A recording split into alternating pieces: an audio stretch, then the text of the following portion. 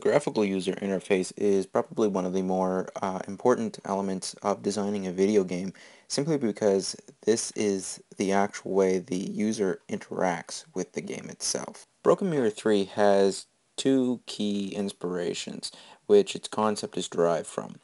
The original Broken Mirror which had this kind of rocky look to its um, interface and from Star Trek Online. So we've been kind of working on integrating these two aspects, these two games together to form Broken Mirror 3s.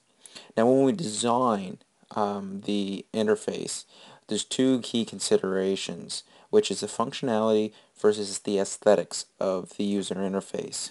The functionality is probably the most important of uh, the two, simply because if it's not functional, if it's uh, cluttering up the screen, it severely detracts from the game itself. Another key aspect in the functionality is this idea that there's different monitors and different monitor resolutions, which means things will look different on different monitors. To get around that, the Broken Mirror 3's current UI is a modular design so that the elements can be shuffled around on the screen so that they will adjust to say full screen monitors and widescreen monitors. Unity allows us the ability to address these uh, different concerns regarding monitor resolutions. What we do is what we call adaptive resolution where the UI will scale based on the user's monitor. So currently I'm designing at a really really large pixel rate so that for the like the largest size monitor we can have a still really high quality UI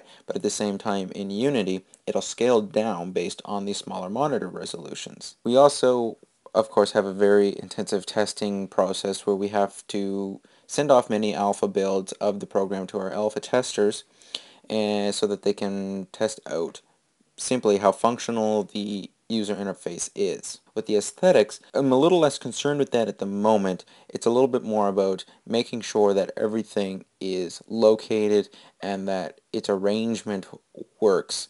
So currently we have kind of like a a pre-design of the user interface, which is more or less just a grayscale design. The UI has already gone through several concepts. The actual way that we approach designing the UI has changed since the very first draft. The very first draft we were trying to address all the things that might be in the game ahead of when they were actually implemented. New approach is not to design an element until we've actually programmed it into the game or are very close to programming it into the game. Similarly, we continually streamline the design, uh, just finding better variations of how to make everything fit.